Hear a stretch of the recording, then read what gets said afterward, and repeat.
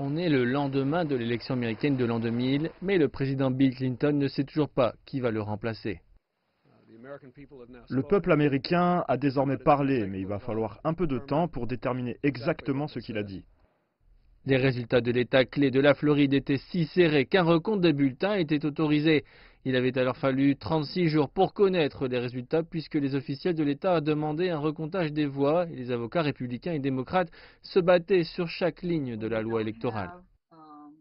Lorsque vous n'avez pas de procédure de recomptage normalisée en place ou plus de normalisation dans votre code électoral, cela ouvre la porte au problème si quelque chose est très très serré du point de vue du décompte des votes.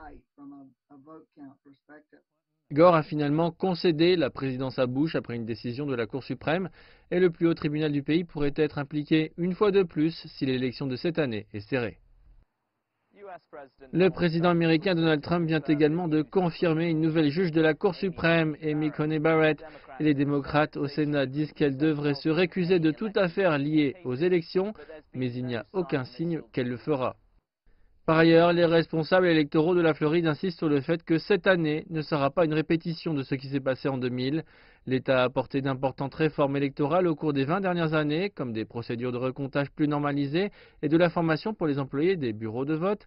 Mais il y a des préoccupations quant à la rapidité avec laquelle les bénévoles seront en mesure de compter un nombre record de bulletins de vote par la poste survenus en raison de la pandémie coronavirus.